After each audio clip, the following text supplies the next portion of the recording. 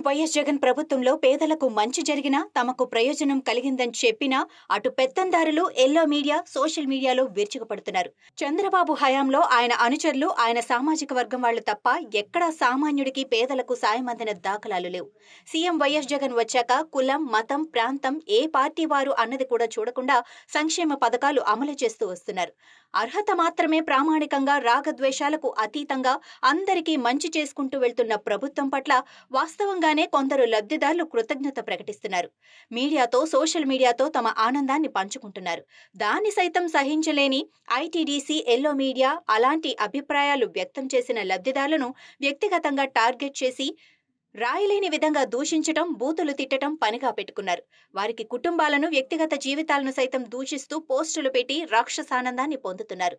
ఇలాంటి ట్రోలింగ్ భరించలేక తెనాలికి చెందిన ఓ ఇంటి లబ్ధిదారు గీతాంజలి ఏకంగా ఆత్మహత్యకు పాల్పడ్డారు.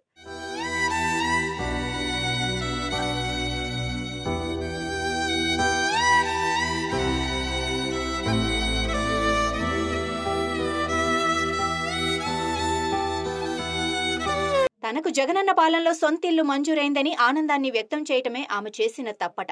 ఆమెను వ్యక్తిగతంగా దూషిస్తూ ఘోరంగా విమర్శిస్తూ పోస్టులు పెట్టడంతో ఆమె భరించలేక ఏకంగా తనువు చాలించింది. ఆమె మరణానికి ఇప్పుడు ఎవరు బాధ్యులు?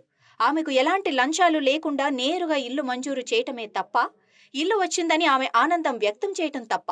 లబ్ధిదారులు స్వచ్ఛందంగా తమ అభిప్రాయాలను వెల్లడిస్తే వాళ్ళను టార్గెట్ చేయటం వ్యక్తిగతంగా వేధించటం టీడీపీ జనసేన పార్టీలకు అలవాటుగా మారిపోయింది. ప్రజల మనస్సులను గెలుచుకోలేక ప్రజాదరణ పొందుతున్న ప్రభుత్వాన్ని చూసి ఓర్వలేక ఆఖరికి లబ్ధిదారులపై నిస్సిగ్గుగా మానసిక భౌతిక దాడులకు పాల్పడటం సిగ్గుచేటు. ఇద్దరు చిన్న పిల్లలు అనాథలుగా మారటానికి ఎవరు కారకులు? వాళ్ళను ఎలా శిక్షించాలి?